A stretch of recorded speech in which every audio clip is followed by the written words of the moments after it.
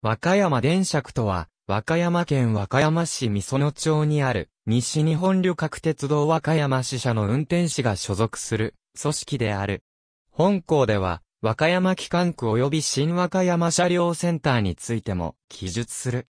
2012年7月、主に和歌山地区で乗務を行っていた運転士と車掌が所属する和歌山列車区が運転士と車掌をそれぞれ専門的に育成する体制を構築するために分割されて発足した組織である。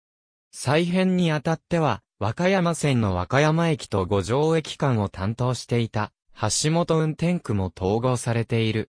これ以前にも和歌山電車区が存在していたが、1989年3月に当時の和歌山車掌区と統合することにより、和歌山列車区として再編され、一旦廃止されていた。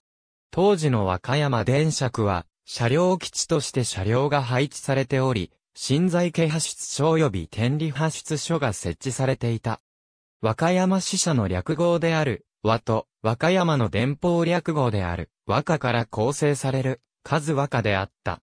2022年1月1日現在、車両は所属しておらず、すべて吹田総合車両所姫野支所の所属となっている。